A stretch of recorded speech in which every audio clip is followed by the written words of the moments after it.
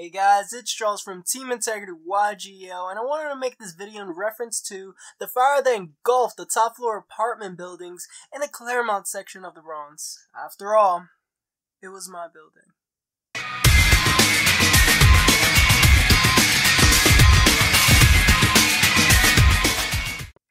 For reasons that are still currently unclear, there was a fire that started in the fifth floor apartment of my building.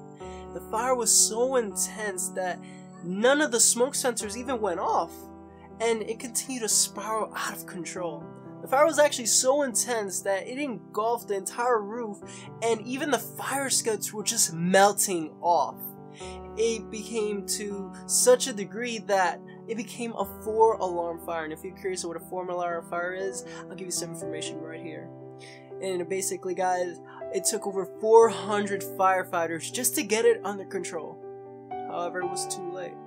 Just for the simple fact that all the lower levels were engulfed in so much water damage that it became deemed uninhabitable. This all started on the fifth floor, and I'm living on the fourth. So you guys could already imagine. And I've been living there for nine plus years, so it's my home, and there's it's like really unreplaceable regardless even if I got a better one. I have so much memories there that it's basically unreplaceable. And there are over 20 families there so the fact that they're all homeless and including myself is crazy.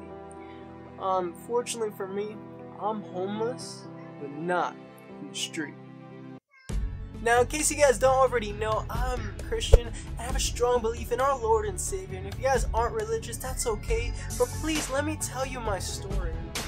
Now, if you guys haven't checked out my last video, a link to that will be down in the description below. But basically, I it tells about the story about how I met my sister after 20 plus years, only three weeks ago, and it totally changed my life because I feel that God placed her in the right place at the right time because after she heard about this tragedy, I was um, basically I texted her around 4 a.m this entire catastrophe happened at like uh, 3.30 a.m. I was outside from 3.30 all the way up to 9 when my pastor came and picked me up at a regular time. And as soon as she came, she as soon as I, she read my message about all these things that happened, she ran in her car, um, drove her car as fast as she could, went straight to the chief of the fire department and said, "Hey, I need my medication upstairs. Can I please get it?" She doesn't even live there, and she was willing to do that just for me. So as soon as the chief went upstairs, she's like, "Oh, you gotta go. You got a few minutes. Go and get us whatever you need." So she got a black bar- garbage bag from the kitchen and got as much stuff from my room as possible. She got my camera, she got my light, she got my clothes, she got some stuff from my mom. It was so amazing how much she was willing to do. Even though she only met me three weeks ago. That's not. She didn't stop there as soon as all this happened, as soon as I came out of church, she was willing to open her home to me. Right now, and I'm spending so much time with her, my brother-in-law, my niece and nephew. It's amazing. She's teaching me how to manage my money. She's teaching me how to become more independent. You know, God blessed me with a great mom that taught me all the basics in life. Never would have I imagined that He would have blessed me with a second mom. Now that Sunday afternoon where I went to church, I felt that the Holy Spirit gave me some wisdom and a quote that just never left my mind was live by faith and not by sight. And for those who are not religious, that basically means, you know, just take a good perspective and don't let all this negative stuff affect your perspective on things. For instance, I was able to see who really loved me, who really cared about me. For instance, uh, Joelle actually came into my apartment and was able to help me take as much stuff from the apartment as possible, even though through the worst weather conditions where you're able to see your breath inside these apartments. The floor was muddy, was horrible.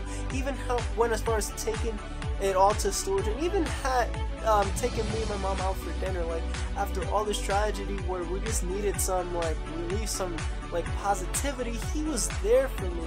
Not only him, but also my church. My godfather had taken all of my electronics while my church is also um, talking to some top officials trying to see trying to get me first in line to get in a new apartment which which normally would take six months to two years to process where we could probably get it in like less than a month, which I feel is a miracle.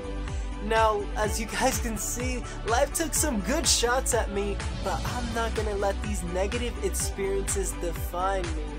I feel that you shouldn't let your struggles uh, become your identity, but let your reaction to those experiences really show who you are.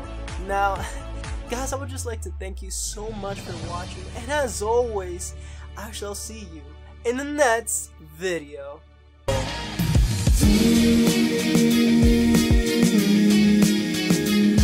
Integrity.